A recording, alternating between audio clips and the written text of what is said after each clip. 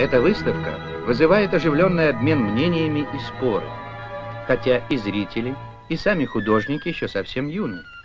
Здесь представлены работы учащихся художественных школ Калининграда, Черняховска и Советска. Ребята пробуют свои силы в различных жанрах – живописи, графике, скульптуре. Выставка – их первый творческий отчет.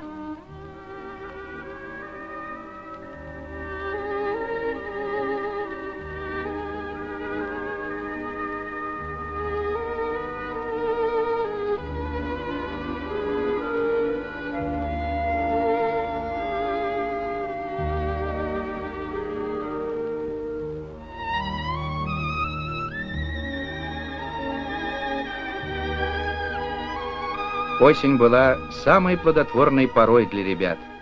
Будущие живописцы старались запечатлеть на холсте и бумаге ее неповторимые краски, учились мастерству у природы.